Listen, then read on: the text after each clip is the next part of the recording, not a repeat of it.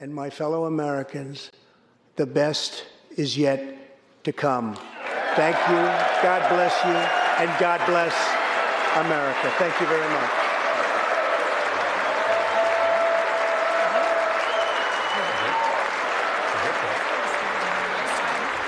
She did.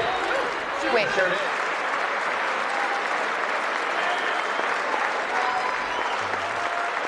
A stunning moment here at the uh, end of the president's speech. Nancy Pelosi tearing up what appeared to be a copy of the president's speech. Wow.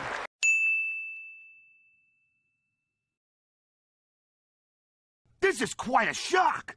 On the other hand, it's not surprising in the least.